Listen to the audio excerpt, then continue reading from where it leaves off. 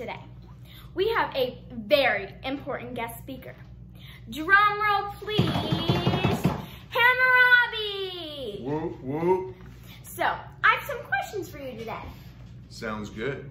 I heard that you are best known for being the first ruler of Babylon and also wrote the Code of Laws. Is that true? Well, yes. I also did write the Code of Laws. Why'd you write them? I wrote the Code of Laws to standardize rules and regulations to manage a worldwide sense of justice. Wow! How long did you rule for? I reigned from 1792 to 1750 BC. I also wrote 282 laws.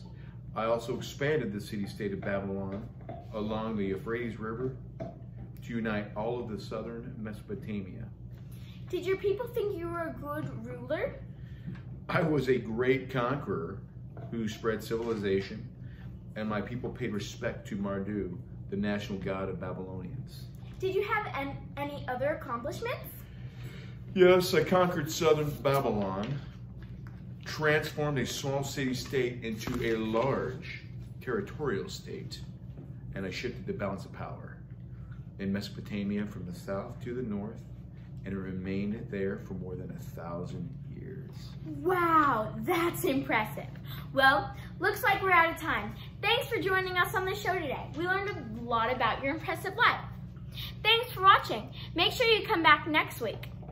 Don't forget to go follow our Facebook and Instagram